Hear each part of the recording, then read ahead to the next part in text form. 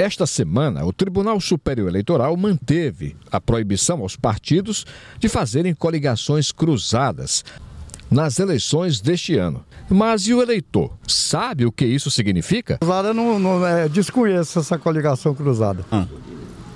Não, não. Não, não, não. É politicamente você está perguntando?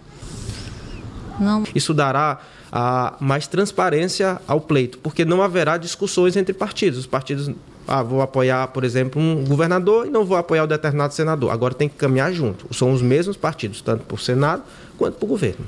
Para este cientista político, os partidos precisam buscar alianças programáticas. Porém, não descarta que candidatos possam dar apoio fora das coligações ou federações que estejam em vigor. O partido ele vai tender a procurar os partidos que são mais próximos ideologicamente para poder ter esse arranjo ideológico que a gente chama o mais próximo possível de algo harmônico.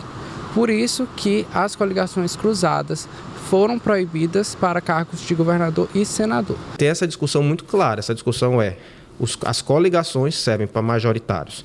E os partidos individualmente que lançarem seu Senado, logicamente, podem ter candidato ao Senado e candidato ao governo, sem problema nenhum. E acaba também inevitável, porque os políticos eles formam essa aliança como uma forma, além de conseguir um, um financiamento um pouco melhor, também conseguir o que seria o poder que outros políticos têm em regiões que eles não conseguem alcançar.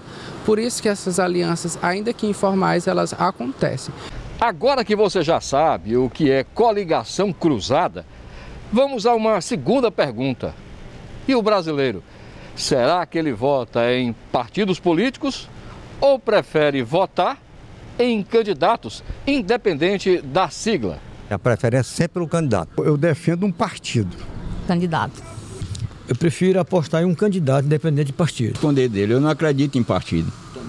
Acredito na pessoa. Dependendo do partido que ele tiver, eu sempre sigo ele.